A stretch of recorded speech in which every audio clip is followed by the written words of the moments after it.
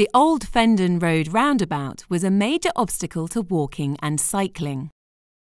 The new layout, based on a Dutch roundabout, is the first of its kind in the UK.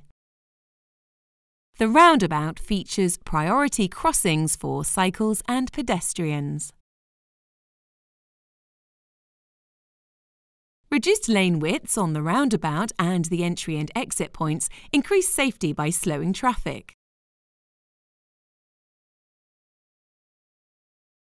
Drivers reduce their speed and give way to pedestrians and cyclists on the approach to the roundabout.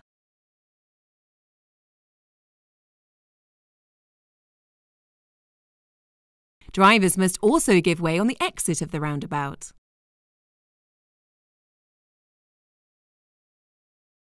Slower speeds will mean road users have more time to adjust and react to others using the road and crossings.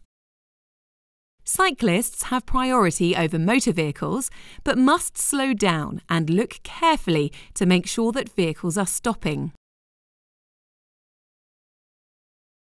Zebra crossings allow pedestrians to cross the cycle and vehicle lanes on each arm of the roundabout. Pedestrians have priority over cyclists and motor vehicles, but must look carefully to make sure it is safe to cross.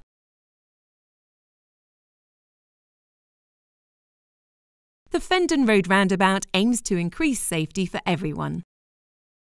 Reduce your speed, look carefully, protect other road users.